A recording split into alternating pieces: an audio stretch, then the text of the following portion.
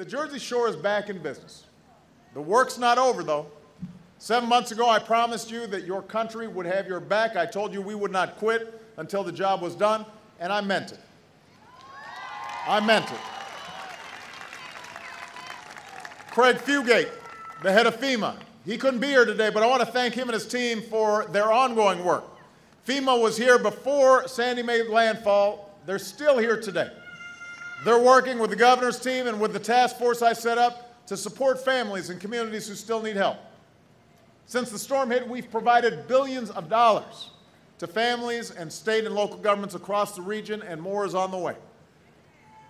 And even as my team is helping communities recover from the last hurricane season, they're already starting to prepare for the next hurricane season, which starts this Saturday. Because if there's one thing that we've learned last year, it's that when a storm hits, we've got to be ready. Education, preparation, that's what makes a difference. That's what saves lives. And anyone who wants to make sure they're ready for a hurricane or any other disaster, I want them to visit something, a, a website called ready.gov. Make a plan. It's never too early. And we've also got to remember that rebuilding efforts like these aren't measured in weeks or months, but they're measured in years. And that's why just, just this past Thursday, we announced billions of new relief aid for New York and New Jersey transit agencies. And that's why the Army Corps of Engineers is working to restore beaches and strengthen the shore's natural defenses. That's why I joined Governor Christie and your representatives fighting to get a relief package through Congress. We're going to keep doing what it takes to rebuild all the way and make it better than it was before, make it stronger than it was before, make it more resilient than it was before.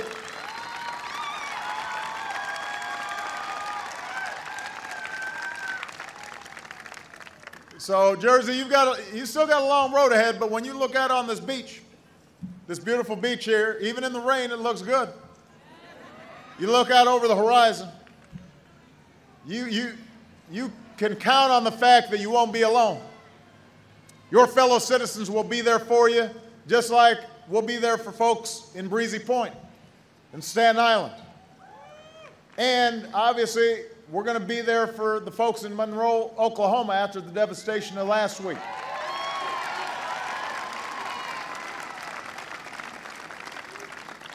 Part of the reason I wanted to come back here was not just to send a message to New Jersey, but send a message to folks in Oklahoma. When we make a commitment that we've got your back, we mean it.